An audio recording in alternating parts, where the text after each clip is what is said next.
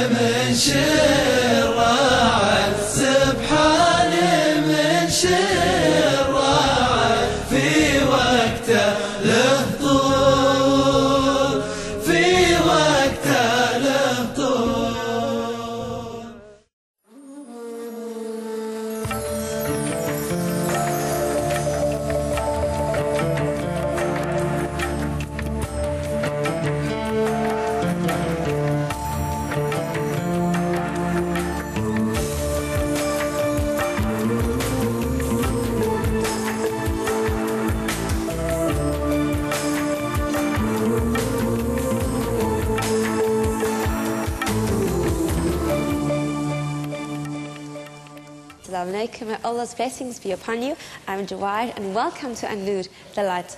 The Awqaf International Islamic Symposium recently took place in Johannesburg.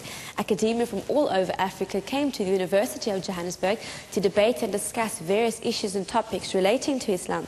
Interesting topics such as the history of colonialism in Africa and gender rights in Islam were some of the draw cards. But what was most impressive was the organization of the event. In today's insert, we take a look at this event and the much anticipated speech by the Premier of the Western Cape, Ebrahim Rasool.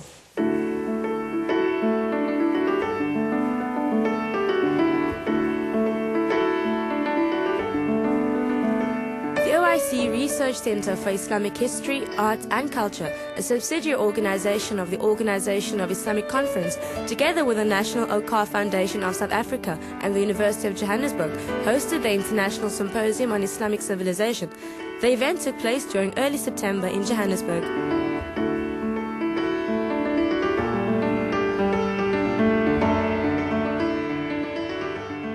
I think this is this conference, which is a result of cooperation between OIC Research Center for Islamic History, Art and Culture, IRCICA, and Al Foundation the University of Johannesburg, is a good example of the relevance of uh, you asked about, where we are trying to fulfill two objectives. First, to understand better the Muslim culture identity of people in this country, their cultural heritage and legacy, and in the same time to make this known to the world of Islam and the world at large.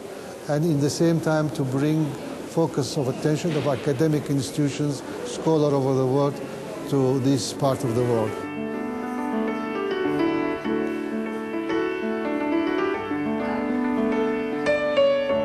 Awqaf SA was established in 2000 to popularize the prophetic Waqf system and mobilize Waqf funds.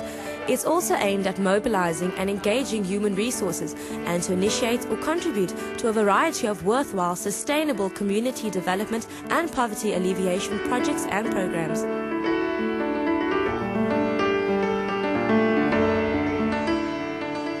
Islam is an ethical framework, a way of behaving, a way of relating firstly to Allah subhanahu wa ta'ala, then to our fellow believers, and then to the Ahlul Kitab, and then to all of humanity within that generous embrace that comes only from those who possess the quality of sakina.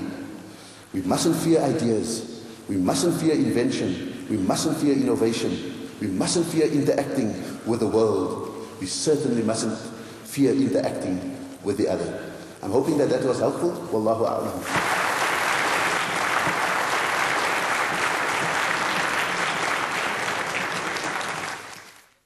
Um, there's no more separation between Islam and the world. Um, much of what the world is going through has to do with the way in which it treats Muslims and the way in which it understands Islam. And as Premier of the Western Cape, I think we probably have one of the best examples of multiculturalism, of carrying as Muslims multiple identities, of being able to be comfortable in our environment, thriving under democracy, and yet being able to reach out to our neighbors, whether they be Christian, Hindu, even Jews in the most difficult of times. And it is more than that, it's a model that is emerging as a best practice for Muslim societies where there are majorities or for Western societies where they have Muslim minorities. And so our story has to be told because the world needs the lessons from our province and from our country.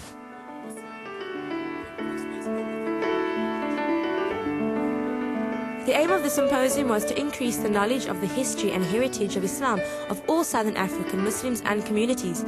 It was also aimed at strengthening affinities and cooperation among Muslim and African nations by producing and disseminating Islam and cultural knowledge.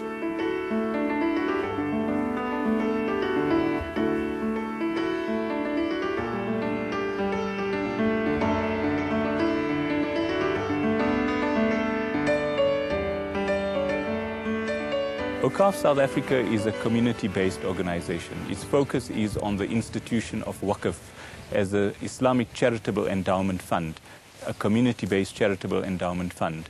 Uh, it, uh, the the South Africa is involved in the three areas mainly. One is the establishment of the Waqf institution in, in South Africa and Southern Africa. Then it also mobilizes human resources within the community. And thirdly, it engages in several uh, projects and programs that, that are um, focused on community empowerment. The Islamic uh, Symposium or the Symposium on Islamic Civilization in Southern Africa is about getting academics from various parts of the world, particularly Southern Africa and other African countries, to talk on various aspects of Islamic civilization in the Southern African region.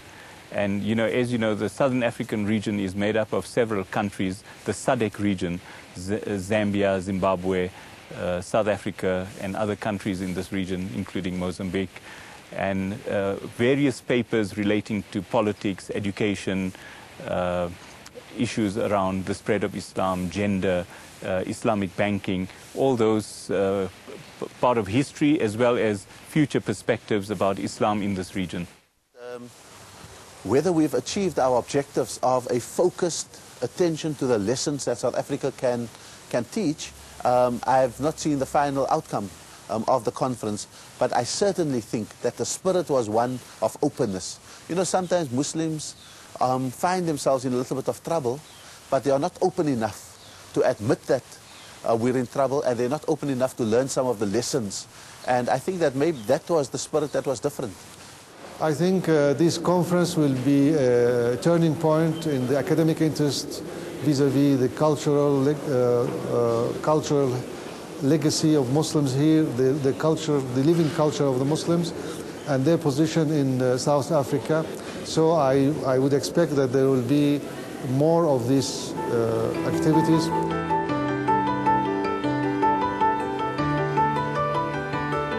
The symposium hosted over 50 different speakers who have now made their papers and theses readily available. A symposium of this magnitude could yield amazing insights for greater organizational excellence, sustainable follow-ups, and will undoubtedly increase our learning curves in so many respects.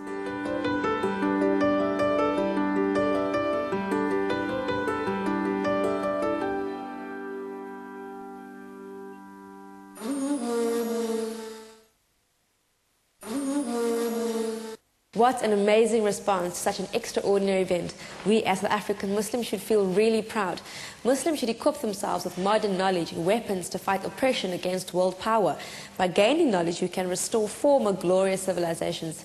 In order to gain knowledge, we need to be aware of the guidance of the Holy Quran, study and ask as many questions as possible.